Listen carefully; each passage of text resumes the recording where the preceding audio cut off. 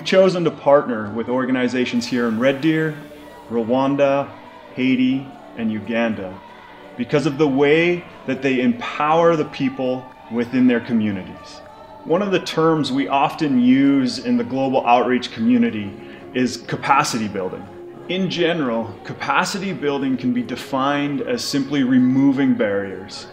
Removing barriers so that individuals can realize and attain the potential that we know and they know that they actually have.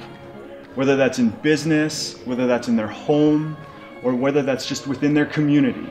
One thing we love about the organizations we partner with, both here in Red Deer and globally, is that they take capacity building and empowering individuals very seriously.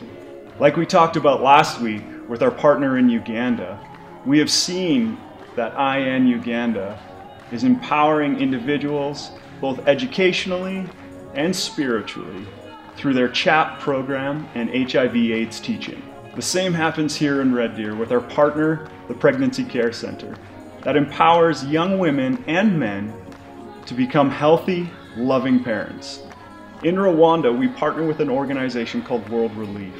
World Relief focuses on bringing Rwandans together, and particularly through pastors, educating them to reach out to the most vulnerable within their own communities. One of the tools that World Relief gives its leaders and pastors is the tool of savings plans. This tool is then given to the community and members to bring into their homes and families, a way that they can now save money to either buy cows, buy food, build homes, or start small businesses. Let me give you a story of what we saw when we were in Rwanda in May. We were invited to join a community, build a home for an older woman who had no house. She was actually living with her cow and her goats in what seemed to be a barn. Now, the community leaders came together and, and brought forward those that they thought were most vulnerable. And this lady came to the top.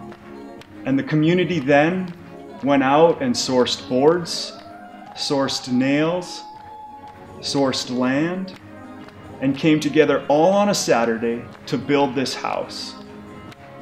The amazing piece here is that the leaders saw a need and they addressed the need. By the end of the day, Saturday, this woman had a roof and four walls and a home that she could call her own. Another area that we see capacity building happening is within Haiti Arise.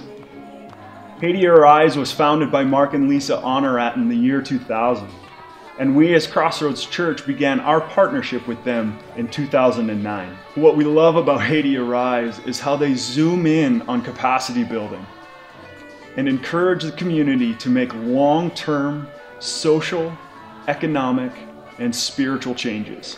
Haiti Arise built their first technical school in 2003. Unfortunately, due to the earthquake in January 2010, the entire school had to be rebuilt. Crossroads Church has been a major sponsor in getting the trade school up and running again. The school just officially had its grand opening in November. They're currently teaching hundreds of students skills that will positively impact their lives and their families.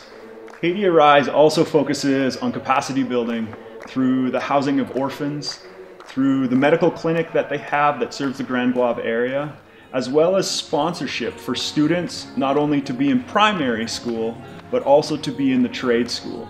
The act of building capacity and empowering individuals is what we see our partners doing, day in and day out. Our compassion offering is coming this Christmas Eve. It's a way for us to continue to support our partners who are doing amazing work for God's kingdom here in Red Deer, Haiti, Uganda, and Rwanda. So, Crossroads, we need you to pray. We need you to pray for our partners daily as they engage in the work in which God has asked them to do. And we also need you to pray for what God would have you give this year.